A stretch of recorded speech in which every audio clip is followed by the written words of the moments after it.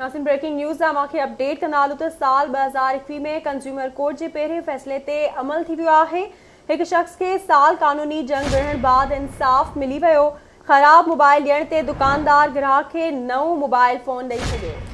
अहम ख़बर कराची मां शेयर कंदासीं साल ॿ हज़ार एकवीह में कंज़्यूमर कोर्ट जे पहिरें फ़ैसिले ते अमल थी वियो हिकु शख़्स खे साल कानूनी जंग विढ़ण बाद इंसाफ़ मिली वियो ان ازا وڌيڪ تفصيل وٺنداسا اس اس لائن تي موجوده کراچي ما آواز ٽي وي جو رپورٽر مهتاب ڇر جي مهتاب ڇر وڌيڪ چا اپڊيٽ آهي جي بالکل آهي ٻڌائندالو ته کراچي ۾ هڪ ڪنزيومر ڪورٽ ۾ جيڪا ڪيس جي بحث ٿي ڪورٽ ۾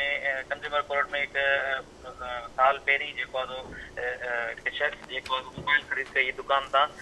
جيڪو جيڪو گراهڪ کي موبائل خراب ٿيڻ باوجود انهن ڪيس جيڪو ڪورٽ ۾ داخل ڪرايو ऐं तव्हांखे ॿुधाईंदा फ़ैसिलो ॿुधायो आहे जेको दुकानदार हुनखे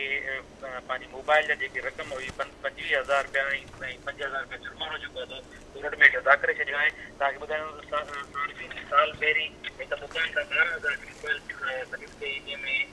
थियल मोबाइल